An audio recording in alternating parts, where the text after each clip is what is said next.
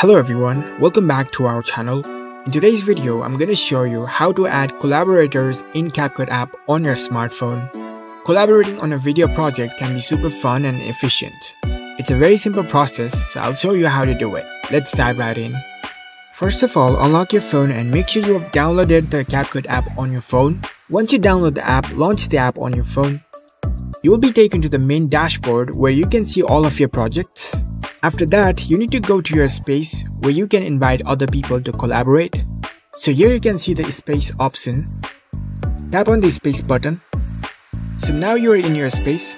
It's like a container or your working space. So here you can add projects you want to collaborate on.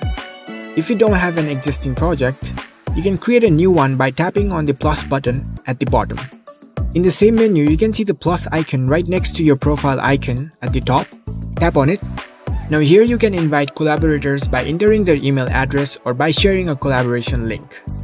You can just copy this link and share it with your collaborators directly.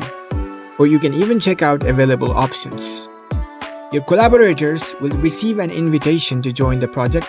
Once they accept the invitation, they will have access to this project and they can start editing together with you.